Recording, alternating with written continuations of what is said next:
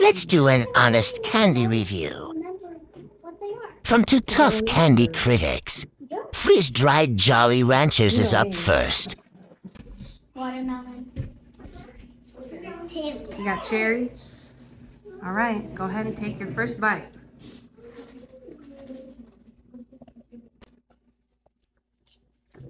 What do you think?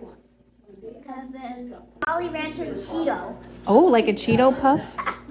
Yeah? but messy. Okay, what about flavor wise? One out of 10, 10 being the highest, what do you give it?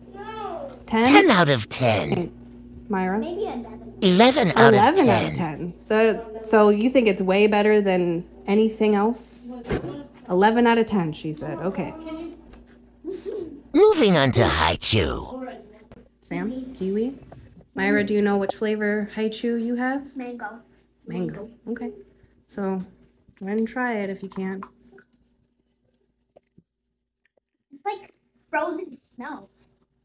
It's okay. It tastes like frozen snow. Or like more tendery, so I'd take like 8 out of 10. 8 out of 10. Do you like it? Yeah. What do you rate it? was the same as the Hantula, but I would take it for uh, 9. 9 out of 10. Okay. What's next? This one. We're going to do the nerds clusters next. All right.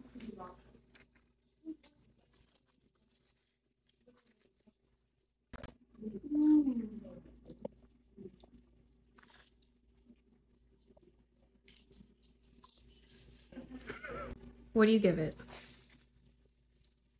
The nerds. 7 out of 10. 7 out of 10. Okay. What about you, Myra?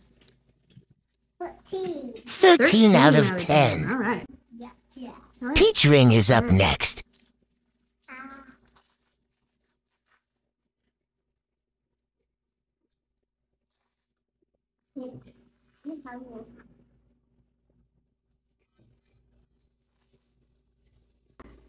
Three out of ten. 3 out It's of not sticky, too sweet, and I'm not a peach girl.